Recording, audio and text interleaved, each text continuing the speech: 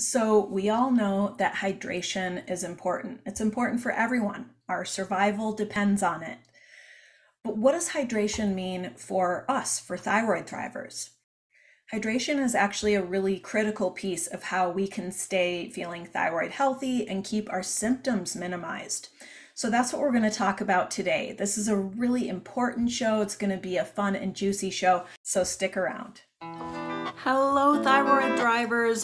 Welcome back to another episode of Thyroid Healthy Bites, a weekly podcast dedicated to helping you live well and eat well so you can feel well. I'm Ginny Mahar, your host and the face behind the apron at hypothyroidchef.com.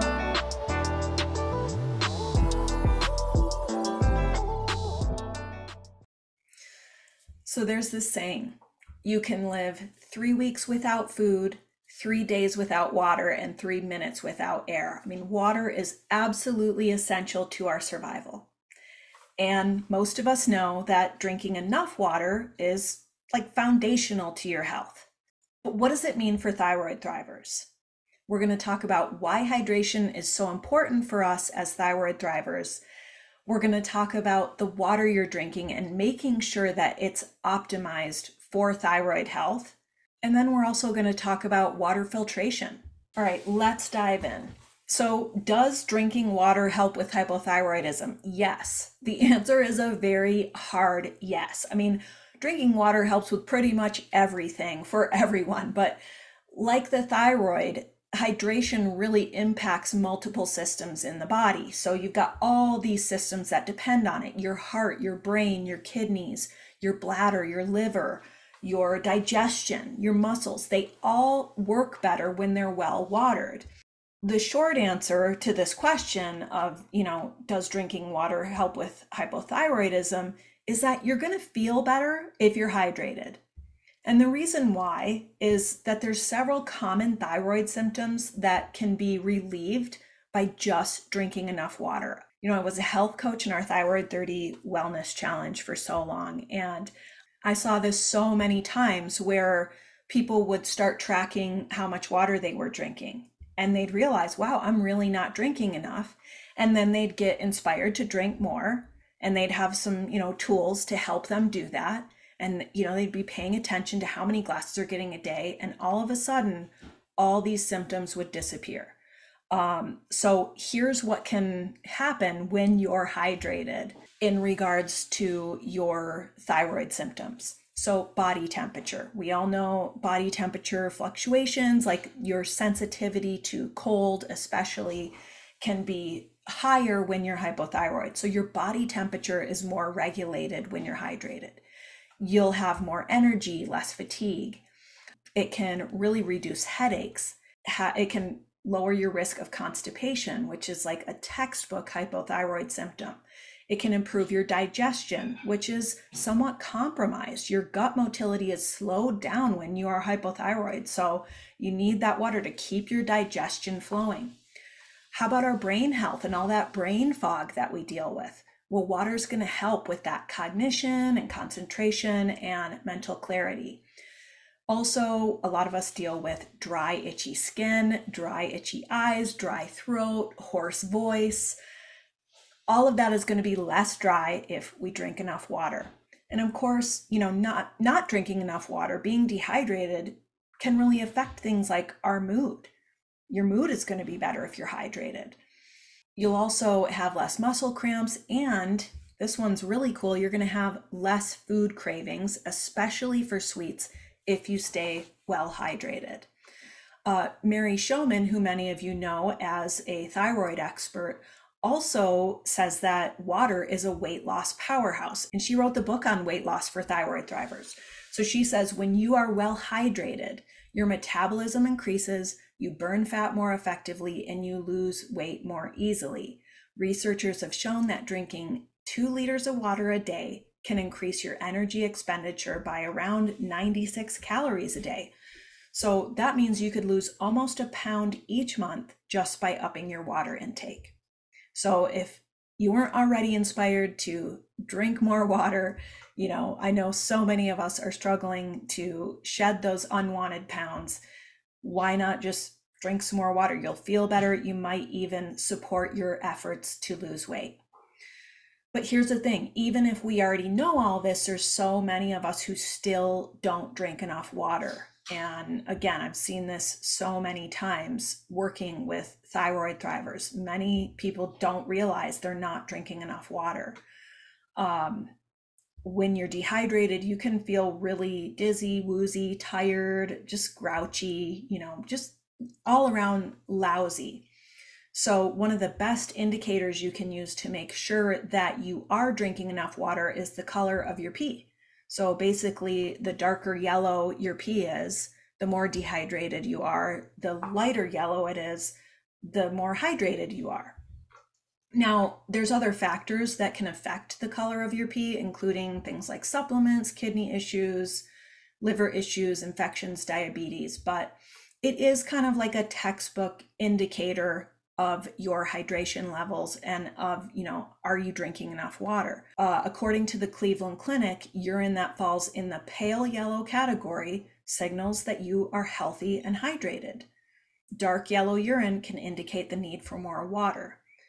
And clear urine can actually be a sign that maybe you're drinking too much. So that's a possibility too. I don't think that's, you know, the case for the vast majority of us, but something to be aware of. Um, how much water should we drink? You know, there really is no one specific guideline to this. But, you know, of course, there's that rule of thumb we've all heard to drink eight eight ounce glasses of water a day as a basic guideline.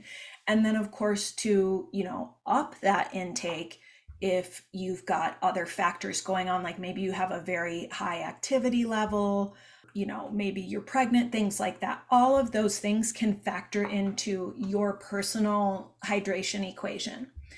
But in general, you know, if you just pay attention and you're mindful about drinking water regularly and you keep aware of those signs of dehydration and how you feel, and then just like tweak how much you drink based on all those factors we talked about, you should be able to just stay hydrated and feel well and enjoy all the the good health benefits that come with that and avoid a lot of those dehydration symptoms that mimic thyroid symptoms. So a few things you can do if you feel like you're maybe not getting enough water is you can use a pitcher, you can use a reusable water bottle, you know, some kind of container that helps you track and monitor how much water you're drinking throughout the day by ounces. Um, you can also use a water journal or a water tracker. Just people use their Fitbits and different health apps, their Apple Watch, and things like that to track their water intake. That can be helpful you know, personally with stuff like this, I usually like just a little analog sheet where you can check off like this is how many every time I drink a glass of water, I make a check. At the end of the week, I can see, wow, okay, you know, three of those days I did pretty good, but the other four not so good. I really need to work on this. So, tracking your water consumption is just a really great way to build that awareness while also, you know, motivating you to drink more water. So let's talk about water, which is the most important ingredient in your drinks and why it's so important to drink filtered water as thyroid thrivers. So, the thing about tap water is that it can contain thyroid disrupting toxins like chlorine, fluoride, and heavy metals. It's that buildup of those thyroid disrupting toxins that can have an impact on how we feel and on our long term health and thyroid health. So we're going to talk about a few different, you know, primary like suspects here for what's in tap water that is problematic for the thyroid. And that's namely fluoride, chlorine, and heavy metals. Now, we'll start with heavy metals. Those in particular are very problematic for the thyroid and they have been linked to not only decreased thyroid function, thyroid disease, thyroid cancer, but also an increase in thyroid antibodies. So, just the simple act of filtering your water is going to help protect your thyroid from some of those heavy metals that can lead to an increase in those thyroid antibodies. So, for those of us with Hashimoto's or Graves, that's going to help you. You know, you want those antibodies to stay low. Next, we'll talk about chlorine and fluoride. So these are, you know, surprisingly some of the two most common toxins found in our drinking water and surprising in that they're added on purpose. So let's talk about fluoride. This is like a highly controversial topic. Fluoride is added to a lot of municipal water supplies. And the reason it's been added is based on this idea that fluoride supports dental health, but it also happens to be a very well known thyroid suppressant um, you may not realize that fluoride was actually used historically to treat hyperthyroidism or an overactive thyroid. So, hyperthyroid patients were given fluoride to suppress their thyroid function, to make their thyroids less active. Now, most of you are here and listening because you have hypothyroidism or Hashimoto's. You have an underactive thyroid that you have to take supplemental thyroid hormone for. So we don't want to be drinking eight glasses of something that has this chemical that is a known thyroid suppressant. The other thyroid suppressant that is knowingly added to our municipal water supplies is chlorine. And chlorine is added for disinfection which is a good thing, right? And chlorine can be safe in very, very, very small quantities. But it's also true that it can interfere with the thyroid's uptake of iodine. And the thyroid needs to uptake iodine to produce thyroid hormone. And so drinking, you know, eight glasses of chlorinated water a day, showering in that and all of that can in turn really interfere with the thyroid's ability to produce thyroid hormone. So here's kind of let's talk about why like chlorine and fluoride, what they sort of have in common with iodine. And bear with me because we're going to nerd out for just a minute here. So, chlorine, fluoride, and iodine are all found in the halogens group on the periodic table of elements. So, they're chemically related. And because they're chemically related, they can compete for that uptake by the thyroid which can block iodine. So if there's a lot of chlorine there and a lot of fluoride there, or you know, either or both, that can compete with iodine. Now, iodine is essential for thyroid function. The thyroid needs iodine in order to produce thyroid hormone. Not too little, not too much, but just enough. It needs that though. It's required for the thyroid to produce thyroid hormone. But when fluoride and or chlorine are present, especially regularly and in significant quantities, they can block the thyroid's uptake of iodine and then thyroid function can be inhibited. So when it comes to something we're supposed to drink 8 glasses of a day, those thyroid toxins can really add up. Now, to complicate the chlorine and fluoride issue, most of the water filters that you buy at the store or like the ones you put in your fridge do not filter these toxins out. They filter a lot of things out. They often filter out like heavy metals and you know, you have to really look up your specific water filter to see exactly what it filters out. And I highly recommend you do that because when I did that, we had a filter on our fridge and we also had an undersink filter that was like built in when we um, redid our kitchen. And I learned no, these, you know, they're filtering a lot of stuff out, but they're not filtering out chlorine or fluoride. I started looking into water filters and which of them do. So let's move to that. We'll talk about my two favorite water filters for thyroid thrivers. All right, so what I currently use is an AquaTru reverse osmosis countertop system and I like it a lot. This is the same system that's used by Dr. Izabella Wentz. Uh, it's used by Dr. Mark Hyman. You know, these are experts that I follow, admire, and learn from. And so I respect their recommendations. One interesting thing to know about using my AquaTru is that I have seen on paper that it's helped me lower some previously high levels of contaminants in my body that were found in our tap water. So, and I've seen this in my lab results since using it. I've been using my AquaTru reverse osmosis for probably about three years now. And what inspired me to like take the leap and make the investment in this system, which is, you know, a little bit spendy. They're, I want to say like in the 350 to $400 range, at least last time I checked. So what inspired me to take that leap and make the investment was that I was working with a functional diagnostic nutritionist to look at my minerals and my heavy metals and all that stuff. And the way that we did that is through hair testing. We did hair tissue mineral analysis. And, you know, I was looking pretty good on a lot of my minerals, and my heavy metals were, you know, in like healthy, normal, or low ranges in many cases, except my barium was quite high. That was concerning, you know, barium, one of those things like it's given to us medicinally, like we've heard all heard of like the barium enemas and stuff like that.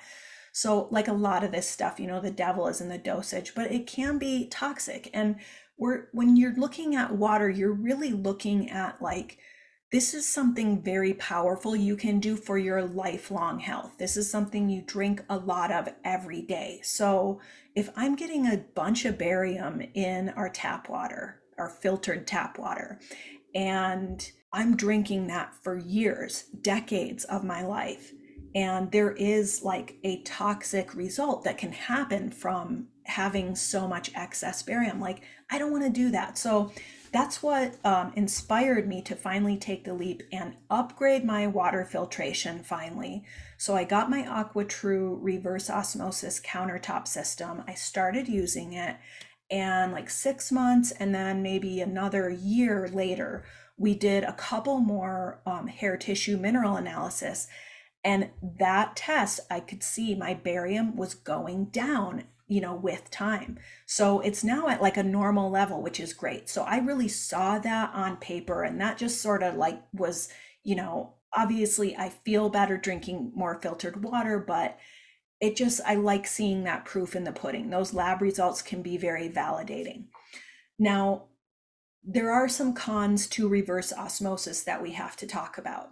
First of all, I paid, you know, I don't know, I want to say I got a coupon and paid like 350 for it so can be a little bit um, hard to get into for some of us. It also requires electricity. So what happens if the power goes out or what if I want to take, you know, filtered water camping with us or something like that. So not a huge con, but you know, maybe for some of us we don't want to have to plug in our water filter.